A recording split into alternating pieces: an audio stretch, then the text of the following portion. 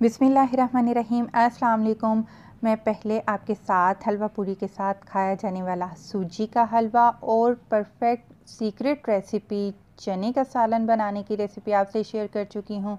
तो आज उसी से रिलेटेड मैं हलवा पूरी के लिए जो पूरी बनती है नरम नरम, आज उसकी रेसिपी आपके साथ शेयर करूँगी। बहुत ही ज़बरदस्त और तमाम टिप्स आपके साथ मैं शेयर करूँगी कि आप घर पर बिल्कुल हलवाई जैसी जो नरम नरम पूरियाँ हैं, वो किस तरीके से बना सकेंगे। तो आप इस वीडियो को लास्ट तक ज़रूर देखिएगा। तो सबसे पहले आपको चाहिए होगा अच्छी क्वालिटी का कोई भी आप मैदा ले लें। आ, मैदा देखिएगा कि आजकल जो बाज़ार से मैदा मिल रहा है वो कीड़े वगैरह भी होते हैं तो ज़रा देख कर लीजिएगा। आधा किलो मैदे में मैंने एक चाय का चम्मच नमक डाल दिया है और इसमें दही शामिल किया है मैंने। अच्छा दही के लिए आप दो बातों का ख्याल रखिए। दही खट्टी ना हो दूसरा आपने फ्रिज की दही इस्तेमाल नहीं करनी है। और एक चौथाई चाय का चम्मच आपने इसमें बेकिंग सोडा शामिल कर देना है और सबसे लास्ट में हम शामिल कर देंगे इसमें कुकिंग ऑयल दो खाने के चम्मच, आप घी का इस्तेमाल भी कर सकते हैं। यहाँ मैंने तेल डाला है। तो सारी चीज़ों को अच्छे से अब हम मिक्स कर लेते हैं। और साथ ही साथ आपने थोड़ा सा पानी डालते हुए आटे को बहुत अच्छे से सॉफ्ट डो तैयार करनी है। याद रहे, यहाँ पर आपने नीम गर्म पानी का इस्तेमाल नहीं करना है। तो नॉर्मल रूम टेम्परेचर के पानी से ही हम आटे को गूंद लेंगे, अच्छे से डो बनाएँगे, सारी चीज़ों को मिक्स करने के बाद ऊपर दोबारा हम इसको तेल से ग्रीस करेंगे और उसके बाद इसको कवर करके हमने रूम टेम्परेचर पर ही 15 मिनट के लिए हमने इसको छोड़ देना है ताकि आटा डो अपनी जगह पर सेट हो सके। तो 15 मिनट के बाद हम डो को दोबारा गूंदेंगे, जिससे कि डो हमारी बहुत ही नरम और नरम और सॉफ्ट सी हमारी डो बनकर तैयार होगी। जैसा कि अभी आप देख सकते हैं, इस तरीके से आपने डो को तैयार कर लेना है। इसी तरीके से आपकी बहुत ही नरम पूड़ियाँ इंशाल्लाह घर पर बनेंगी।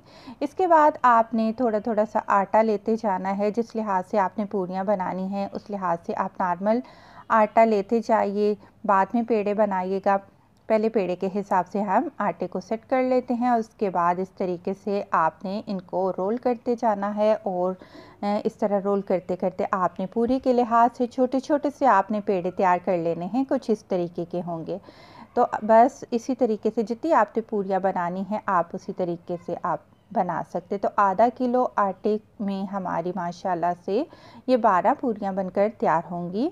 और आप देख सकते हैं कि मैंने दोबारा इसको ग्रीस किया है। तो ये वो टिप्स हैं जो कि आपके लिए बहुत लाजमी हैं कि हर स्टेप पर आपने पूरी के लिए जो डो है, जो पेड़े हैं, उनको आपने अच्छे से ही तेल से ग्रीस कर लेना है। दोबारा हम इसको 15 मिनट के लिए पेड़ों को हमने रेस्ट के लिए छोड़ा था। फिर आपने किचन की जो सरफेस है, उसको भी ग्रीस करना है और इस तरीके से आपने इसको पेड़े को पहले प्रेस करना है। फिर आपने इस तरीके से आप इसको टैप करते जाइए और फैलाते जाइए। आपने जो बेलन होता है उसका इस्तेमाल नहीं करता। बिल्कुल आपने हाथों से इसी तरीके से आपने इसको प्रेस करते करते पूरी की शेप दे देनी है। और ये देखिए, माशाल्लाह से कितनी अच्छी हमारी पूरी बिल चुकी है हाथों से ही और गरम तेल में आपने इसको फ्राई करना है। ठंडे तेल में बिल्कुल भी आपने पूरी को फ्राई नहीं करना है। और दूसरी बात यह है कि पहले आपने तेल को अच्छे से गर्म करना है और फिर मीडियम फ्लेम कर दीजिए, फिर आपने इसमें पूरियाँ डालनी हैं। तो तब भी आपकी पूरियाँ बिल्कुल परफेक्ट बनेंगी, कुछ ही सेकंड लगेंगे। ज़्यादा देर आपने इनको तेल में फ्राई नहीं करना, बस फटाफट पूटियाँ डालते गए, साइड चेंज की और नरम नरम, माशाल्लाह से ये देखिए कितनी ज़बरदस्त पूरियाँ बनकर तैयार हो चुकी हैं। वीडियो पसंद आई है तो प्लीज़ जाते जाते मेरी वीडियो को ज़रूर लाइक किया करें। खुश रहें, दुआ में याद रखें। अल्लाह हाफिज़।